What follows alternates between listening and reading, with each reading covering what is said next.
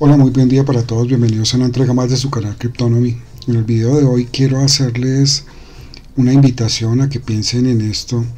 Estaba revisando mi cuenta en Twitter cuando una de las cuentas que sigo, que es Nansen, que es un excelente concentrador de información, eh, lanza esta, este tweet en el que dice que mm, los tenedores de cripto dentro de Binance eh, han, han tenido retiros netos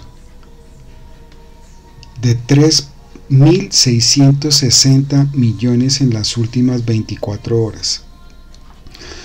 Esto, el rumor se, o la noticia se esparció como la pólvora y aquí dentro de Cointelegraph están diciendo que los retiros netos de Binance superaron los 3.600 millones de dólares en los últimos 7 días. Es un repentino eh, movimiento de los grandes eh, inversores que crearon eh, como esta reputación y ahora están moviendo sus grandes piscinas de liquidez de una manera dramática, ¿no? Por eso les digo que la noticia llegué a ella a través de Nansen en la, cuenta de Twitter de ellos. Eh, y vemos que también eh, dentro de los miembros de la comunidad cripto debaten sobre la corrida bancaria que atraviesa Binance.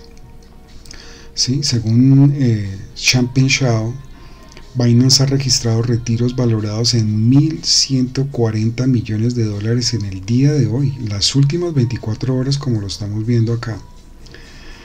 Eh, yo se los vengo diciendo desde hace más o menos una semana.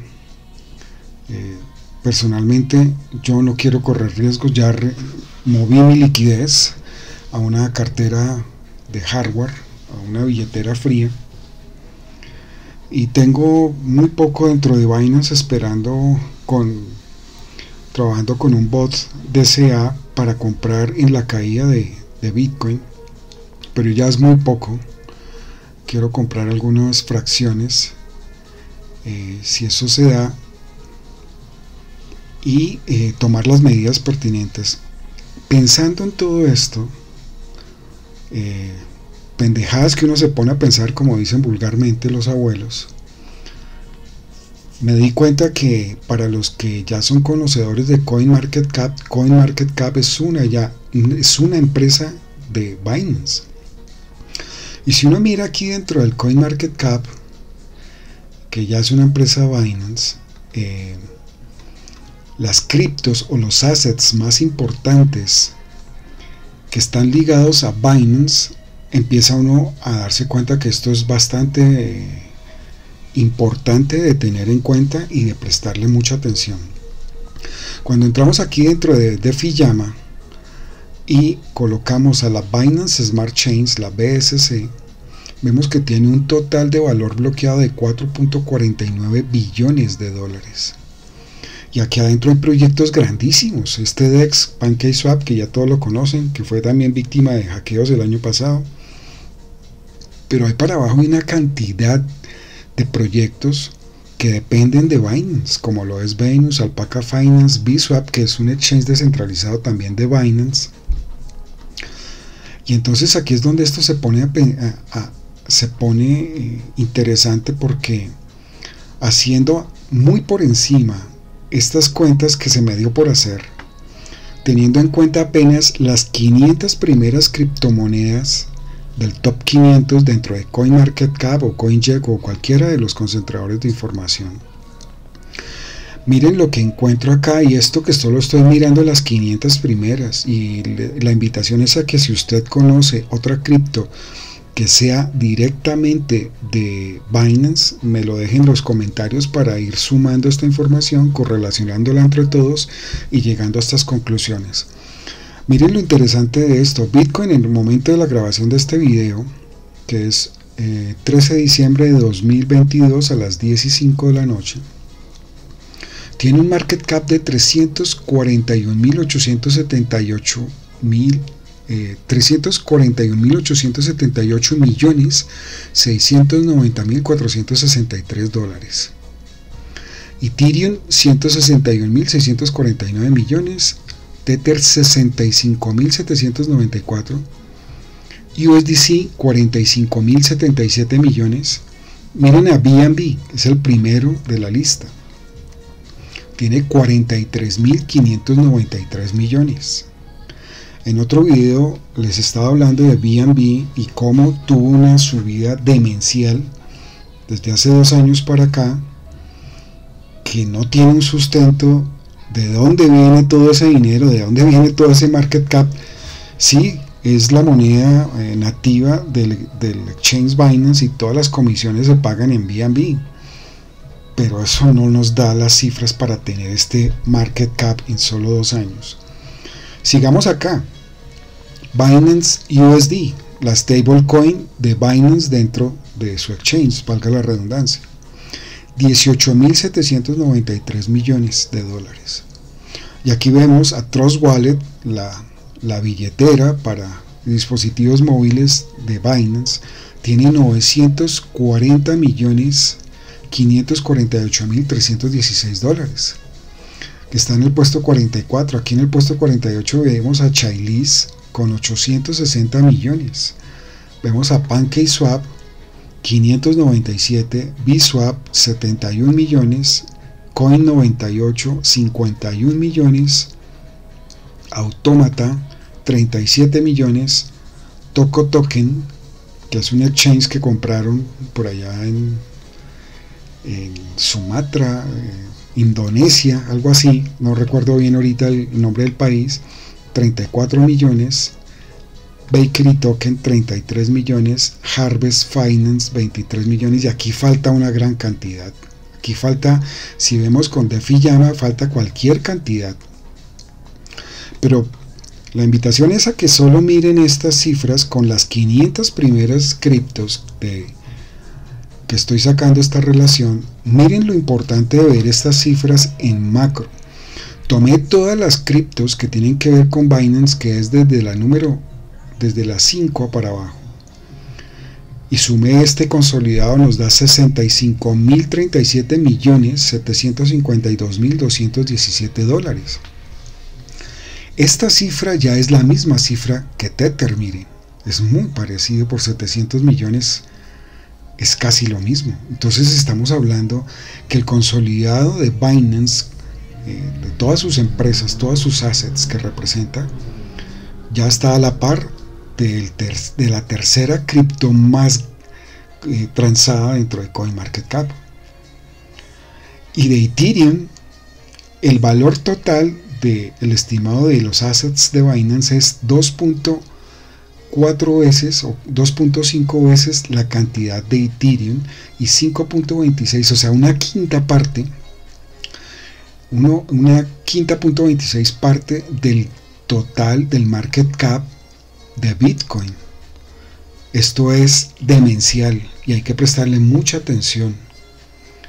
Porque si Binance no tiene problemas, pero la SEC, que está supremamente cuestionada por todo el público que está ejerciendo demandas en contra de FTX y están señalando a la FEC como o a la SEC, perdón, como el principal responsable de esto porque todo el tiempo hablan de sus controles, de sus reglamentaciones, de sus leyes, de toda esa mierda que hablan, que nunca hacen cumplir absolutamente nada, porque por sus manos han pasado todos los principales desfalcos económicos de, del planeta, y sobre todo Estados Unidos, que es, una, es un país de burbujas, les encantan inflar burbujas, estallarlas y robar al pueblo y hacerse millonarios con el beneplácito y con la complicidad de todas las instituciones corruptas que supuestamente están para controlar, fiscalizar, regular, que de eso no hacen absolutamente nada.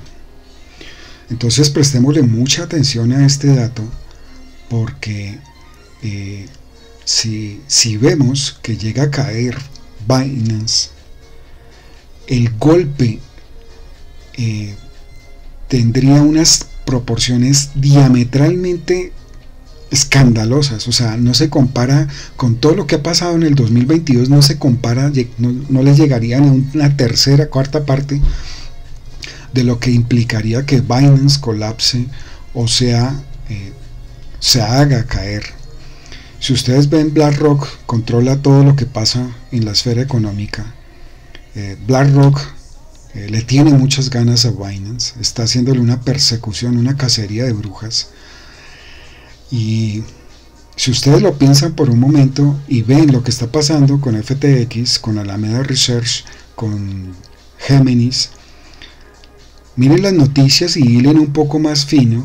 Las grandes, los grandes bancos como Morgan Stanley, como eh, se me escapan ahorita los otros que han salido en noticias, que están como aves de rapiña, mirando qué quedó de los escombros para comprarlo y empezar a manipular internamente leyes, estatutos, para comprar la tecnología que ya tienen desarrollado.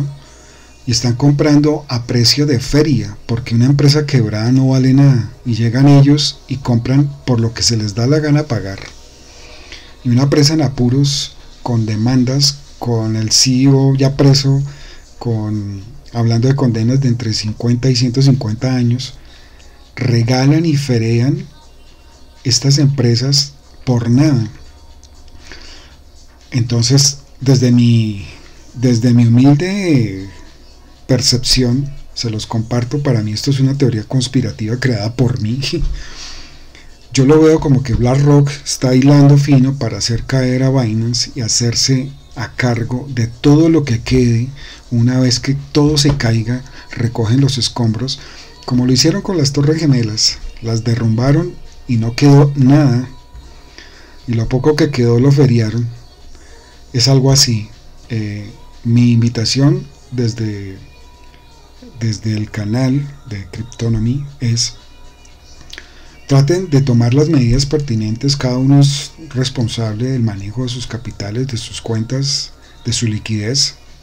Es totalmente respetable, pero mi invitación es tengan presente toda esta información, eh, tomen las medidas que ustedes consideren pertinentes para protegerse.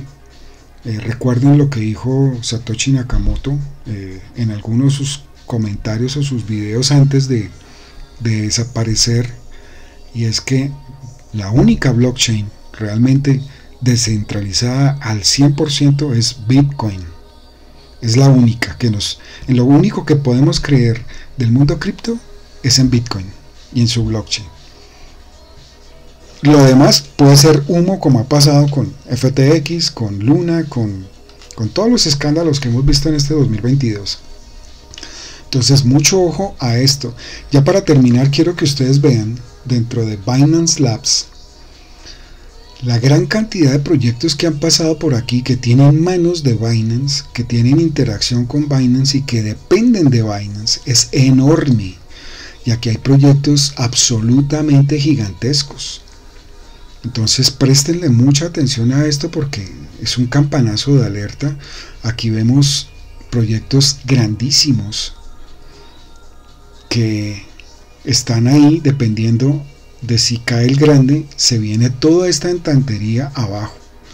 Entonces no quiero ser ave de mal agüero, ni, ni ser fatalista, ni ser eh, precursor o, o hacedor de, energía negativa hacia Binance. Lo considero un gran exchange, ha hecho muchas cosas muy bien, pero eh, el gran problema de ser tan grande es que la caída es mucho más fuerte y que los grandes todo el mundo les quiere tirar, todo, tirar a matar, ¿no?